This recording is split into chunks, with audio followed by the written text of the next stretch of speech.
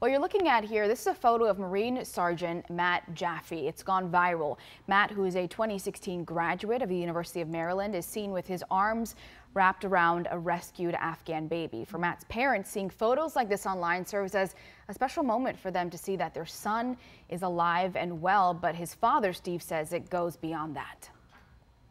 I think that the, the photograph is goes beyond um, Matthew being our son, though. I think it's much bigger than that. It's a much bigger statement to uh, everybody uh, in the U.S. and around the world that Marines are doing their job and that there's a, you know, there's a, a big heart. They have a lot of heart, and despite the, uh, the perilous situation, it, it, I think it, it really brings a lot of humanity to the, uh, the, the cause.